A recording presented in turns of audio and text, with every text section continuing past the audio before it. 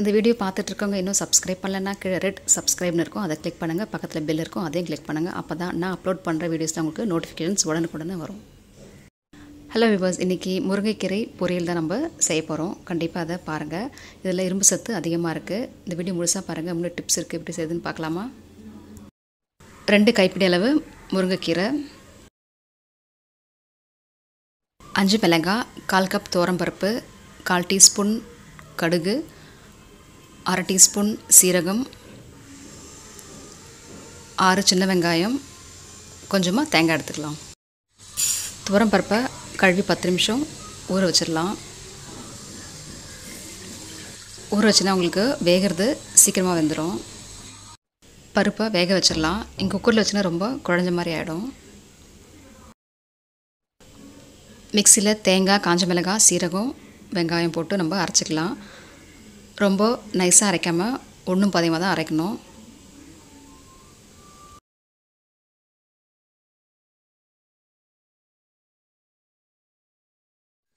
பாருங்கள் பருப்பு வந்துருச்சு. ரொம்ப வேக விடக்கூடாது. கொஞ்சம் உதிரியாக தான் இருக்கணும். எல்லாம் உங்களுக்கு கூட்டு மாதிரி ஆகிடும் ஒரு இரும்பு கடாயில் கொஞ்சமாக நல்லெண்ணெய் ஆட் பண்ணிக்கலாம். எண்ணெய் காஞ்சதும் கடுகு ஆட் பண்ணிடுங்க ஆஞ்சி வச்ச முருங்கைக்கீரையும் ஆட் பண்ணிடுங்க எப்போதும் முருங்கீரை செய்யும் போது இரும்பு கடலை செஞ்சிங்கன்னா உங்களுக்கு சத்து அதிகமாக கூடும். சிம்லே தான் வதக்கணும். தண்ணி நம்ம நிறைய சேர்க்கக்கூடாது. மீதி உள்ள பருப்பு தண்ணியை கொஞ்சமாக ஆட் பண்ணிக்கோங்க. இப்போ பெரியவங்களாம் சாப்பிட்ற மாதிரி இருந்தால் இன்னும் கூட கொஞ்சமாக தண்ணி ஊற்றி நீங்கள் வேக விட்டுக்கலாம். மூடி போட்டு ஒரு அஞ்சு நிமிஷம் அப்படியே விட்டுடலாம் தேவையான அளவு உப்பு ஆட் பண்ணிக்கலாம். வாரத்துக்கு ஒரு முறை முருங்கைக்கீரை சமைச்சு சாப்பிடுது ரொம்ப நல்லது. இது சூப்பாவோ இல்லைனா பொரியலாவோ சாப்பிட்டிங்கன்னா பெண்களுக்கு ரொம்பவே நல்லது. வேக வச்ச பருப்பு இதோட சேர்த்துக்கலாம். உங்களுக்கு எவ்வளோ தேவையோ அவ்வளோ ஆட் பண்ணிக்கோங்க. எல்லாமே சேர்த்து நல்லா கிளறி விட்டுக்கோங்க.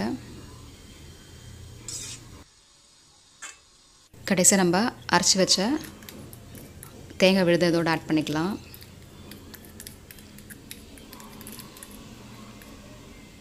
தேங்காவும் விருப்பப்பட்டால் நீங்கள் ஆட் பண்ணிக்கோங்க.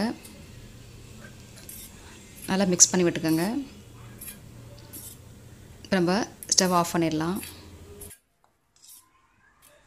ஹெல்த்தியான முருங்கைக்கீரை பொரியல் ரெடி பண்ணியாச்சு.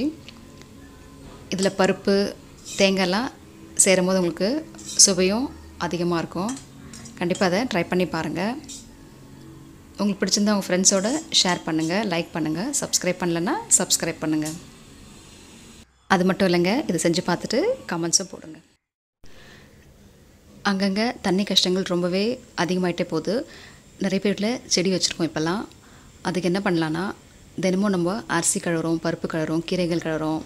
காய்கறி கழுவுறோம் அந்த தண்ணியில் நீங்கள் ஒரு ட்ரம்லேயோ இல்லைன்னா பக்கெட்லேயோ சேமித்து வச்சுருங்க. ஈவினிங் போல் நீங்கள் செடிக்கு தண்ணி ஊற்றலாம் செடி உங்களுக்கு செழிப்பாக வளரும். அதே மாதிரி தண்ணியை நம்ம சேவ் பண்ணலாம். ஓகே தேங்க்ஸ் ஃபார் வாட்சிங் வாழ்க வளமுடன்.